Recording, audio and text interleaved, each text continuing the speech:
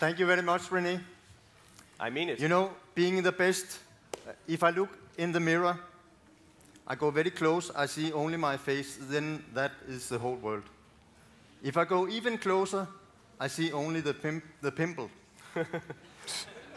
so being the best, I don't know what to say about it, and it's, it's, I want to be a good farmer. Actually, sometimes I have a problem being a good farmer because being a farmer is trying to control the first, the first spade we put in earth to turn the soil is a try is in a, in a way trying to control nature. But it makes no sense because even if you're trying to, to uh, radically change the nature, we are still the part of nature. And that, that is one thing we have to think very carefully about. This morning I, I drove to this place, uh, passing on the motorway. In the middle, I see a lot of asparagus. Later, it was this uh, sea buckthorn at Amager, really a lot. And almost being here, I see, I see hor- horseradish, rampion. Just before, before the DR building, the Danish television, and, and you, we can go and grab it. Then I thought, why, why are these asparagus living in the middle of the motor road? But the other question is also, what is the motorway doing where asparagus is growing?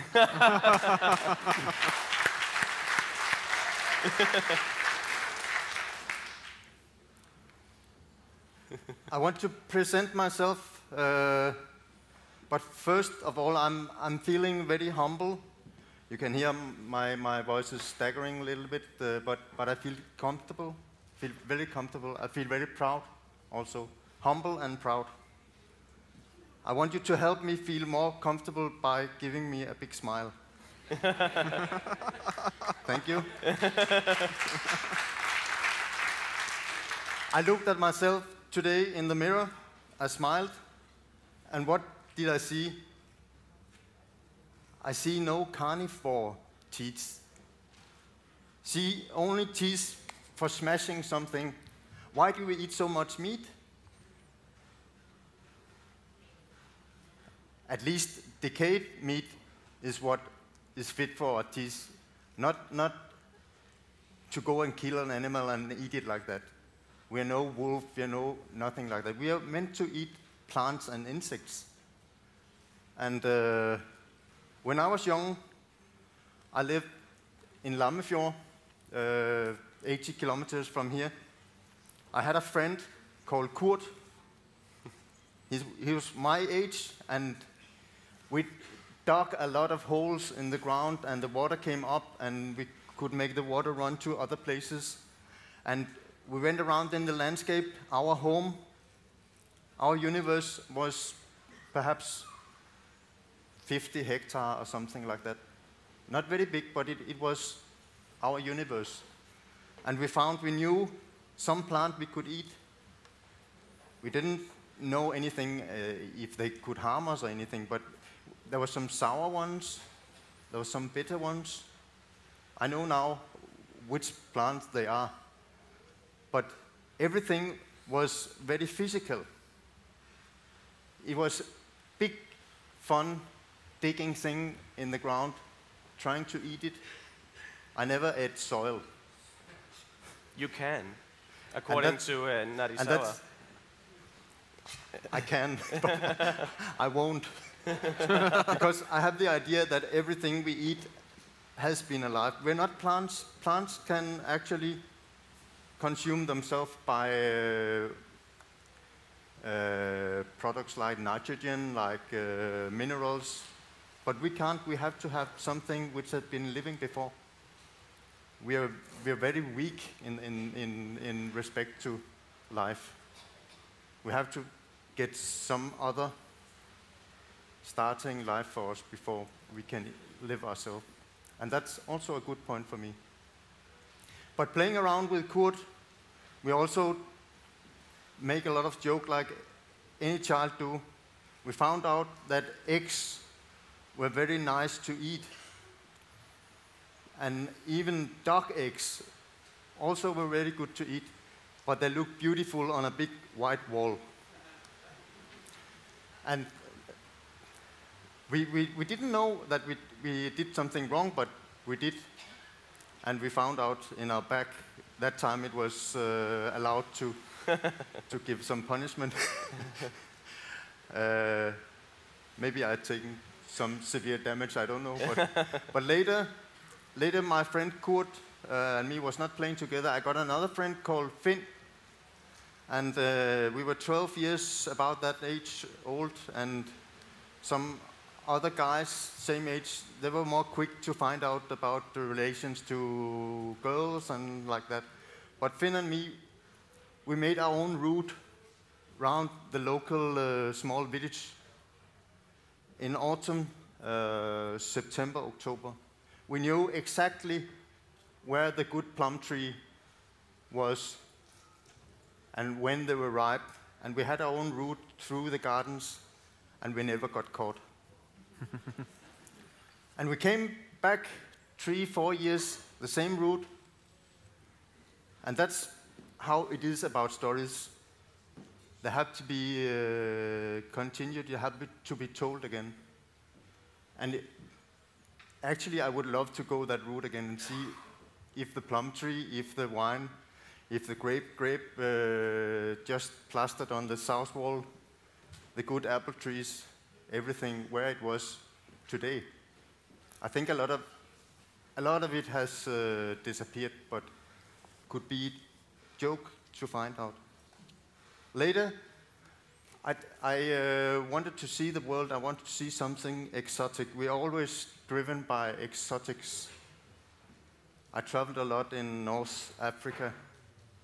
Actually, over here in, in, uh, in the food market, I saw two, uh, two young guys from uh, Lebanon, and they stand there making good pancakes filled with uh, vegetables, of course. And they used what they in Arab call full. And I thought, oh my God, it's many years ago. Actually, full or fev or uh, horse bean was my first exotic challenge. I took some beans from Tunisia, planted them in my uh, home, and they grew very well.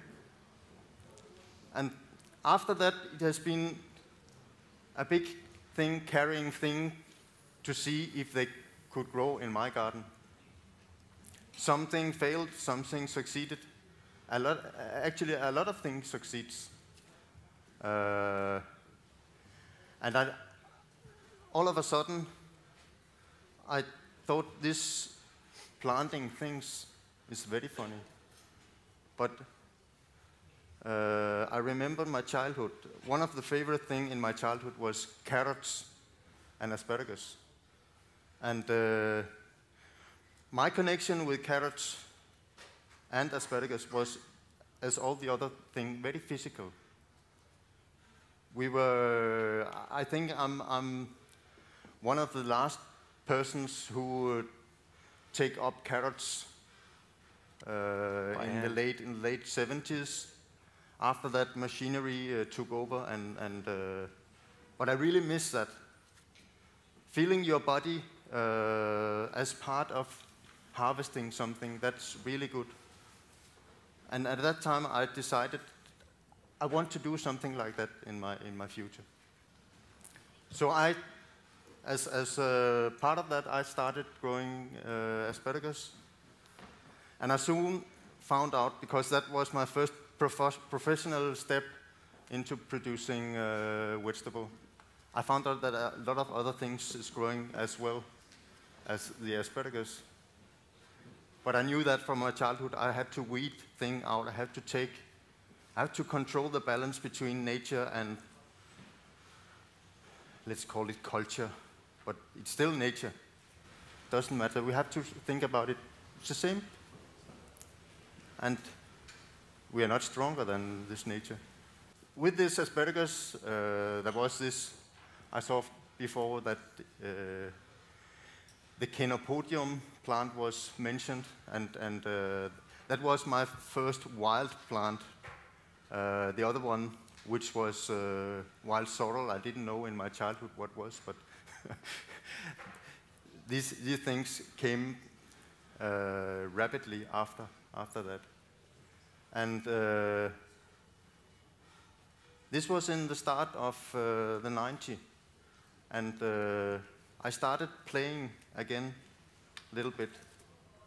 I have a deep respect for, for uh, conventional farming. Uh, I like lines of carrots without any weed. You can discuss how you get rid of the weed, but, but uh, still, I think, I think it's beautiful to have production. Uh, I respect really uh, good farmers. If they are organic or they are, they are doing things with chemical, doesn't matter. They have the same goal. They have the idea of producing very good stuff. And uh, I have deep respect for this fundamentalism in producing uh, vegetable, especially. I think if we talk about producing meat, I have my thoughts about it. it's not, not nice always. Uh, so I started, like my father, growing carrots also uh, with machinery was another job. And I found out that the better I became doing these carrots, uh, the less was I able to live with it economically. Uh, actually, in, in the mid of uh, the 90s, I got a very good, production with uh, 10, about 10 hectares of carrot. I couldn't even earn what my father did from half a hectare. And everything 10 years before was done by hand. Actually, with, with love and respect, Every carrot was taken up, put in a box, taken care by hands. Uh, and we got good money for that. What has happened? Uh, now, now, every carrot you see in a supermarket uh, hasn't seen any man. Actually, no man hasn't seen the carrot. because every carrot get taken a picture in the machine, and if this carrot has a pimple, out. Nobody cares the taste of the carrot. Where's that? Everybody says that a carrot has to be sweet. It's a funny thing. I have uh, four children, and I've been experimenting with my children I take uh, seven different kind of carrots, big bunches, take them up to the school. Even the school are involved. and uh, I give them white carrots, I give them yellow carrots, uh, I give them blue carrots, round carrots. Everybody thinks which is the best carrot? They would all scream, the sweetest! No. They want the white carrot without any carotene, which is good for the skin and the health and everything. they, want a, they want a white carrot always because it's juicy, it's crispy, but it's not sweet. That's very, I think that's very funny. I've been to a meeting with a big chef from uh, the supermarket, uh, which told us, you have in this place, Lammefjord, to make a sweet carrot because what we sell is the children buying. The children is designing what the parents put in the basket. It's not true. And it's funny thing. and I've, I've, been, children is so inspiring. Uh, I've seen, I've seen uh, the same school, my children's school. I went up there, have a big banquet with all my vegetable, and uh, we had a little start startup uh, talking about vegetable. and I asked if anybody had something to say about vegetable. Then all thing came. And that's the way we are thinking. If you have to say something, you have to say something negative. My father don't like any kind of vegetable. My father also, everybody, nobody has a father who likes vegetable. then I think, oh, what a potential. Here is something to change. And then a guy, he was, because it's easy to tell that other don't like. I don't, I hate vegetable. it was Simon. I come back to Simon. We had this uh, talk about, and I, I, I, can't stop if I see something good. And I think many of my vegetables are very good. I can't stop putting them in, in my mouth, even if there's sand or anything. A little bit shit, uh, doesn't matter. uh, and after, after the session, after the session, uh, I allowed the children to come up. If they wanted to grab, I don't know what they wanted to use it because nobody likes vegetable, but they came and took all. And this girl who started, my father, hate, don't like anything vegetable. She took all the celery. and uh, after a while, Simon came to me, just very excited, with a big beetroot, red beetroot like this huge, just like he win the lottery. and then he said, the biggest thing I ever heard, uh, it's my biggest victory. Son, you know what? I love red beetroots. and, and it was amazing because I think he never met a bit beetroot before. so I had to tell him that actually I didn't like to grab them like that. uh, I want, I have three, something that's also a little bit about how I feel. I have to have something solid. And I feel a little bit like clumsy hands with this, but I think that's okay. I think we take that one first here.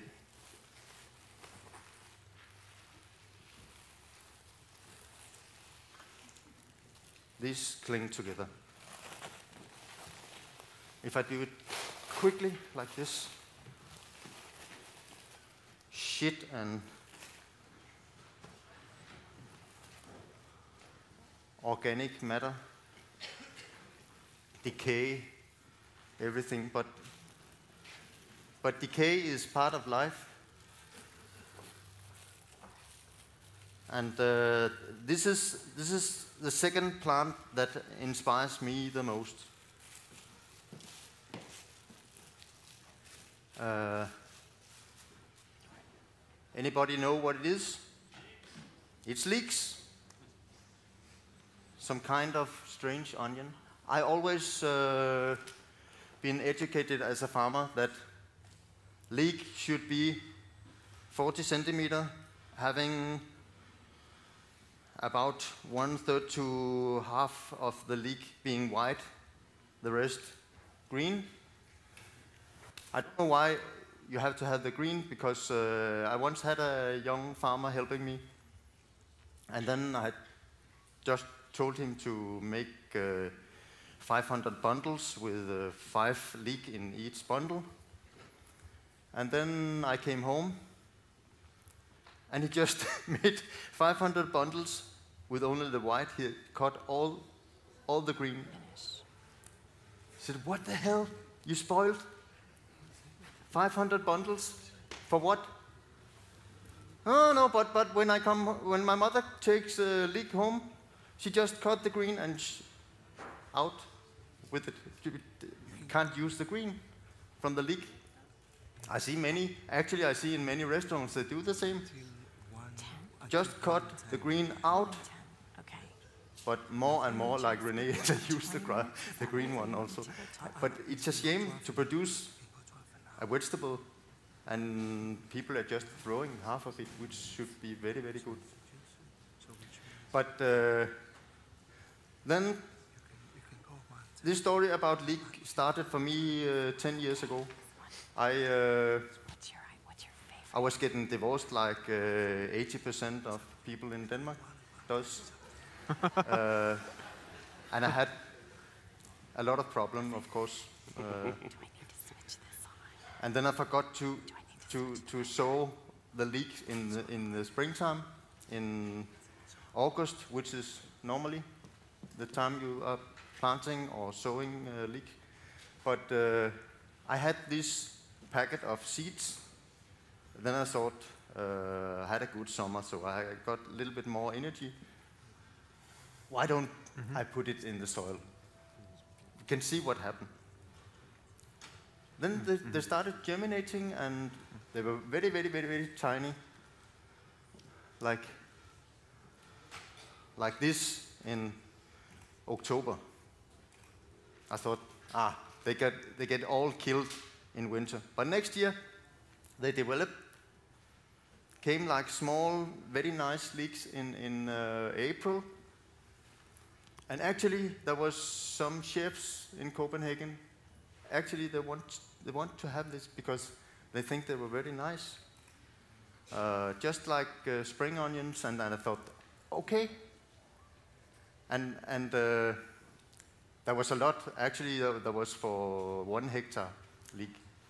So I just took some, and, and then uh, at the end of the period, I saw some, some, some was growing up, making a stem, making some flowers, but there were other, they didn't do anything. And then I took them and I found out that they made, like this one, they made a small onion. And, and more of that, they put small onion beside. So actually, I thought, what is this? This is a milking, milking machine. So they started growing up next autumn with a lot of new small leeks, and next year I could grab the leeks and the small onion, they fell off in the soil. So this field I have been growing uh, leek for eight years now, just taking the leek and they're replanting themselves every year. What a gift for a poor farmer. and, and, and the funny thing, the funny thing, then I, then I started playing. Like and I had some like playmates. I had some playmate, playmates. This one actually is the eighth, eighth genera- generation of uh, leek. You see the small, the small things here. It's uh, what's it called? Uh, field salad. Field salad. field, uh, salad. mâche. Mâche. Mâche, yeah. Mâche. Because with the leeks, in case it failed with the leek, I planted some mâche. Then I had at least that in the summer. But that has been coming eight years as well. So now they live together there. But, but now, this year, I stopped the joke with that one. I'm making a new field, of course, because uh, it's a funny thing. And, and I think actually it's so beautiful. And, and uh, so you're saying this- that, that this year has been eight years in the making. Yeah, it's a, a very good thing with leeks, a very strong thing, uh, is that it has vegetative production and it has sexual behavior also. And, and the sexual thing comes from, from these flowers. There's male and female flowers, and, and they uh, make sex together. It's funny for the bees.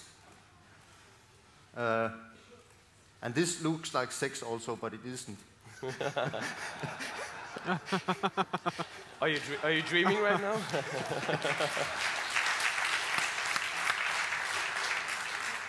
So when actually I caught its sexual behavior because that's some filthy thing, then it starts developing on the vegetable process. And that's funny. That's, yeah, you treat somebody bad, then they give you back. And, and uh, there's so many, there's so many uh, different shape of leeks, And this is where people like Rene comes in. Because this one, if I take, yeah, let's take this one, it looks like shit. we like shit. After this event, we will all really love shit. I have to take my glasses off. you see, you see here, if we look thoroughly through the shit, what do we see here? Small bulbs, Yeah. small Almost like Onion like- grains of rice, almost. Onion like creatures. And if we grab, we grab this one, you clean it a little bit and put it on a plate. That's a masterpiece. I think 10 of Rene couldn't do that, even if they worked for the months with the molecular uh, kitchen. Well, without people like you, we wouldn't even have it. No, but it's not me. I, I just, I just saw it first.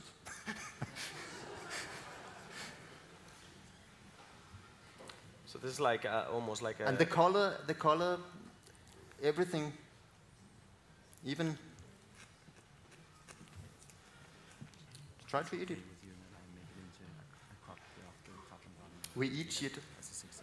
It was you who told that once. uh, yeah, all, of, all that about leek. I need somebody to clean up me sometime. we will, don't worry, don't worry. We got people. Another thing, which this is uh, this is my favorite. This is asparagus. End of season, uh, the last shoots from asparagus. I have I have uh, something dogmatic about my life. I had I have to eat the first asparagus in my field, and I have to eat the last in the season. And today the season stopped.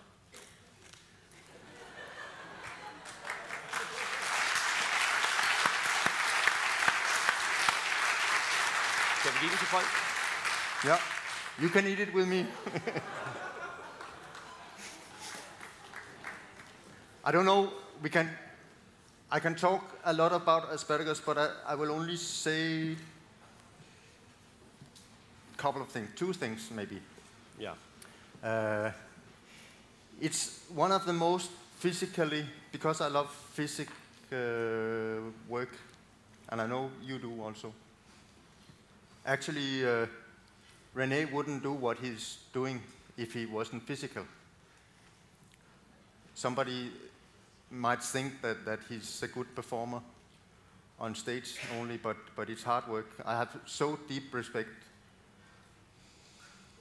because these people in this place, Noma, I came there last year.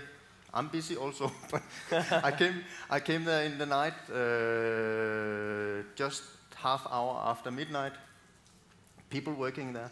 I came back in the morning because it was very urgent with some other stuff. I came 6:30. The same people working there. that was amazing for me. I, I thought, ah, they sleep until 12 o'clock maybe. but they don't.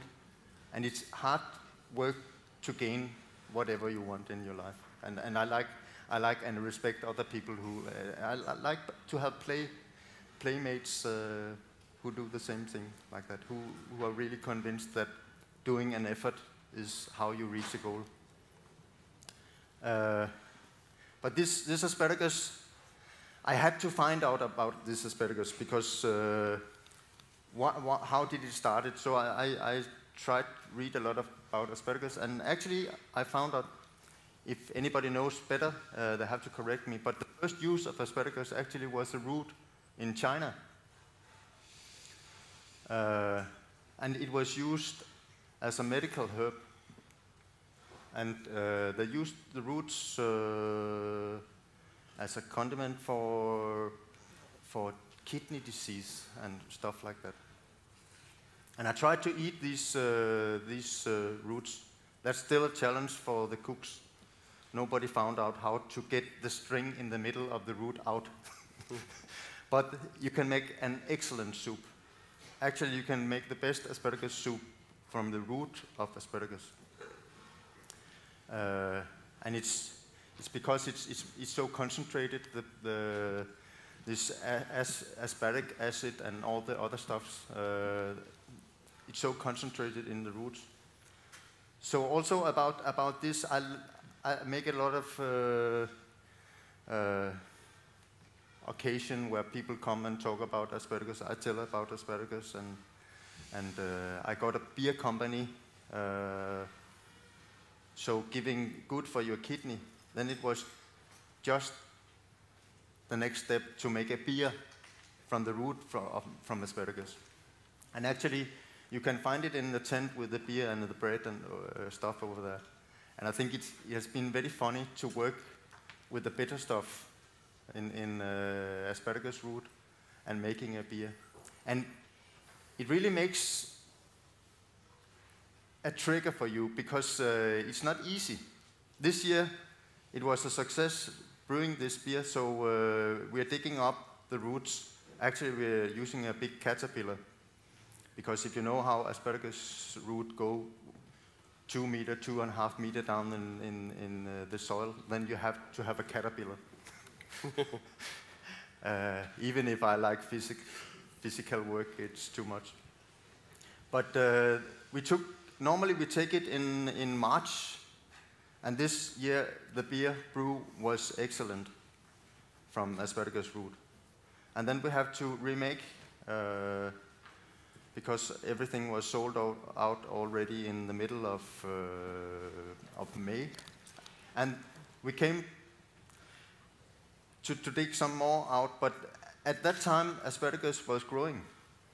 And the brew became totally different from the other one. And that was really a big fun.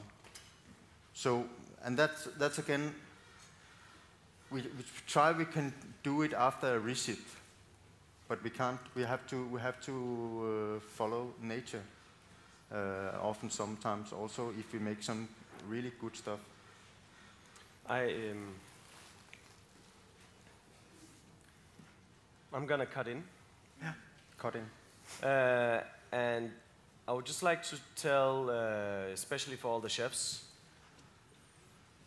the next time you pick up the phone and call your pur your purveyor imagine what you can get out if you go straight to the source. What haven't we learned here in now 40 minutes of lecturing from this person? But thank you to Søren for